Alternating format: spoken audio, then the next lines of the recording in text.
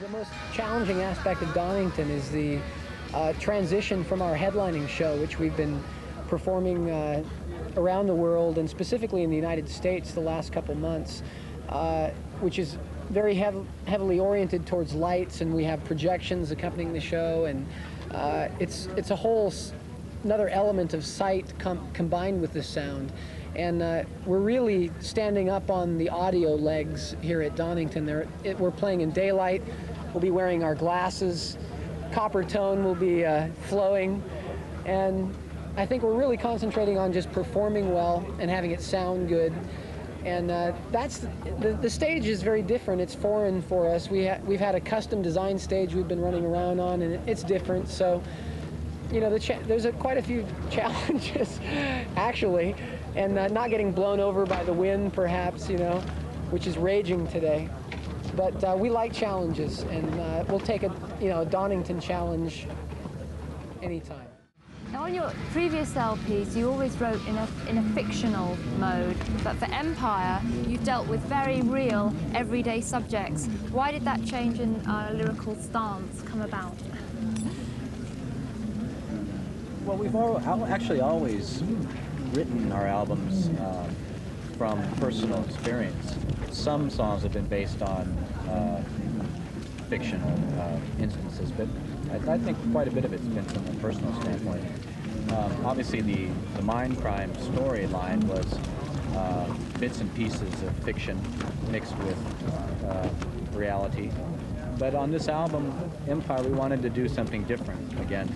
And we uh, purposefully uh, approached the record with that in mind, uh, sort of looking at what's inside of us and really concentrating on that as far as subject matter, rather than looking for outside sources. I think the the appeal of the Empire album has been a combination of uh, combination of factors. One of which is just our persistence. I think of uh, releasing albums and touring behind them. Uh, that has been something that has been very much building the, the ground base of Queensryche. But I think uh, the continual opening of doors, particularly at radio and uh, the likes of MTV, which has uh, really blown open, you know, the band. I think having us popping into people's uh, living rooms on their TV set certainly is something that escaped us in the early days of our career. And fortunately now, uh, it's you know we've been able to capture, I think, kind of the essence of Queensryche in some of in our more recent uh, couple years of video making. So it's just been an ongoing process, and fortunately, I guess the material as well. You know, we've had uh, tried to keep a standard of material that people are now interested in, so we're happy. I think that our message really is just a, a reflection. Is I, I think how we kind of we sort of act as a mirror. I think, and uh, I think a lot of our fans can find things that they relate to in our albums with their lives and things going on around them. Maybe uh, whether it be problems or or uh, things that they feel just they feel good about that uh, you know we talk about in the records. I don't, I don't think that we try and preach really with the band. I think that all we really do is just kind of uh, absorb life as we go along and try and present it uh, back to the people in our own unique way. And I'd like to think it's constructive. I don't think we have a destructive uh, message, you know, with the band. I think even if we look at something that perhaps is a bit negative or with a cynical edge towards it, it's always trying in the end analysis to be a bit constructive, I think. It's true that rebellion has kind of gone hand in hand with rock, but uh, I think we're just trying to write some good tunes that kind of reflect our state of mind at any given point that we're making an album. And it's kind of about what's going on around our lives and, and what is important to us. And I think uh, I, I hope it's not, uh, it ever gets to the point where bands feel that they have to write about, you know, Satan or rebellion or sex exclusively, you know, to be rock and roll. I, I, I think uh,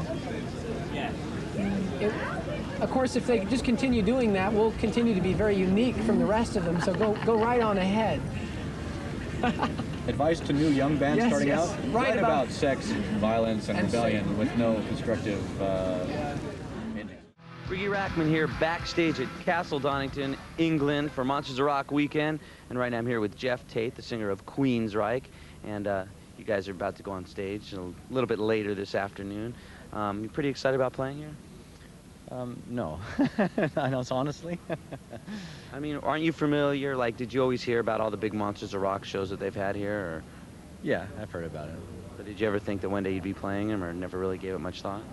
Well, it's it's a good position to be in because it gives you massive amounts of exposure rather than doing your own tour for a month slogging around England. And you can just play one show and you're done.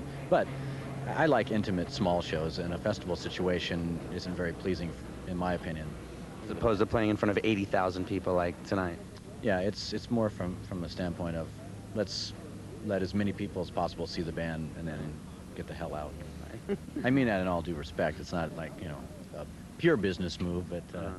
we've already been over here once and we brought our own show and did a, uh massive tour of England and Europe already uh, this last winter. So this is round two for us. We'll be back talking to the guys from Queensryche a little bit later, as well as the other bands partaking in the Monsters of Rock Festival today at Castle Donington as MTV's Monsters of Rock weekend continues.